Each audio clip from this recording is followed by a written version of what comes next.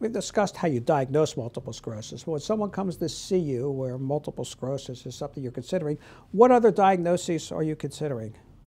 Of course, this is where the skill of a neurologist comes in because there are actually potentially dozens and dozens of other neurological conditions that could, in some way or other, mimic multiple sclerosis. So the neurologist has to very, take a very careful history, do an examination, and put the information together along with the MRI. And in a lot of patients that I see with MS, the story is very straightforward and very little other workup needs to be done. So if a person comes in with clear-cut um, attacks that are very characteristic of MS, they don't have any other underlying diseases, they're, they're otherwise healthy, their brain and spinal cord MRIs are absolutely typical for MS, then I usually don't entertain other diagnoses and don't need to do a, a, a lot of other workup. However, there are some other conditions that can mimic MS that require other workup. So there are other kinds of inflammatory or infectious diseases that occasionally can mimic MS. So, uh, for example, Lyme disease, which is fairly common in, in, the northeastern United States, is something that patients often come in with, uh, come in thinking maybe they have. And uh, Lyme is a disease borne by ticks, and Lyme disease can affect the nervous system, but it almost always causes other manifestations, usually a skin rash mo most typically. And that's a, a condition that's easily ruled out by proper blood tests. There's another inflammatory condition that's fairly uncommon called sarcoidosis. And sarcoidosis is a disease that affects the nervous system in about 10% of cases, but most of the time, in 90% of cases, there are other systemic manifestations, lungs, swollen lymph nodes, other organ, other organ involvement. In the old days, syphilis used to be a, a common masquerader for MS. Then there, in some patients, particularly those who present with um, worsening gait and have what we refer to as spasticity along with weakness in their legs, uh, a different set of differential diagnostic possibilities arise. One, one thing that we fairly commonly look for is vitamin B12 deficiency, because vitamin B12 can cause a combination of motor weakness in the legs and sensory, and sensory changes in the limbs, which are common manifestations of multiple sclerosis. If, particularly if MS occurs somewhat later, and again with a more progressive problem with gait, then compression of the spinal cord, often from degenerative changes in the neck, comes, comes, into, comes into play. Um, and that's usually readily ruled out by uh, an imaging study of the cervical spine of, of the neck, but sometimes uh, it can be a, a, little bit tricky. Also, there are some people with hereditary diseases of the spinal cord that will present with a gradually worsening gait problem or spasticity in the legs. Those people, however, will very seldom have white spots in the brain the way we see them with, with MS.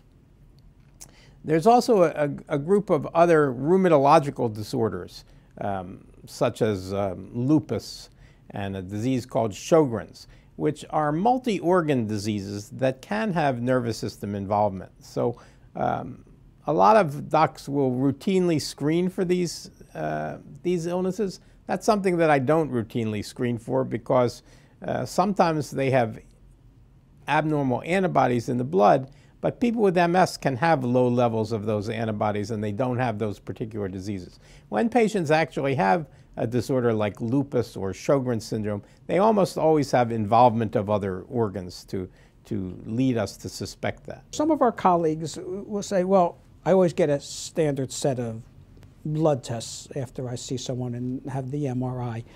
and, and you don't. You said that. So, so uh, how do you tell the patient, how do you explain to them that really is no need to do that. They come in with these funny symptoms that they've looked up. So I, I actually routinely go through the process with a patient of how a diagnosis is made, what we need in terms of criteria to, to satisfy the, the, the diagnostic scheme. And if they are straightforward and there's nothing else that this looks like, I tell them why I'm not obtaining other tests. And you're right that there are certain of my colleagues who who routinely order a much more extensive test battery than I do in a typical case.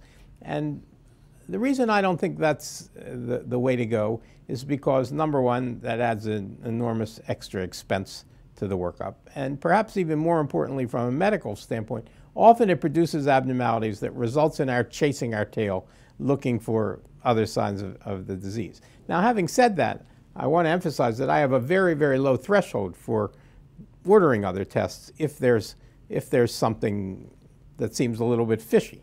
That's when we, we go hunting for things. The same thing with a spinal tap. You know, in a very straightforward case, the spinal fluid doesn't add anything of value to our diagnostic scheme. But if the picture is a little bit fuzzy, if we want some additional corroborative evidence, then finding a positive spinal fluid is important. Again, perhaps as many as 30% or even more of people early, in the early stages of MS will have normal spinal fluid, and it doesn't mean that they don't have MS. So, so there's no single symptom or finding on the exam or finding on the MRI that says this is MS, right? This is a synthesis of what you've put together from taking the history and the examination, the MRI, and the other tests you order. Sometimes it turns out over time it's not MS. How do you keep an open mind? So I think uh, it makes sense for the neurologist always to be questioning. And I, I, find myself doing this sometimes with, with patients who are doing extremely well. And I'm, periodically I revisit their, their story. I, I said, did I make a mistake? What, did this person really have MS? And almost always I find that the story was quite convincing. The abnormalities were there, and this is just a person who's been doing very well. But there are certainly occasions where a patient has met all of the criteria for MS. And by the way, one thing to emphasize is that no matter what diagnostic scheme one uses, and there have been many over the years, they always end with the final caveat that there be no better clinical explanation for the, for the symptoms. But sometimes we satisfy all those criteria, we diagnose MS, and then something happens later on and we need to revisit that. So we always need to keep an open mind.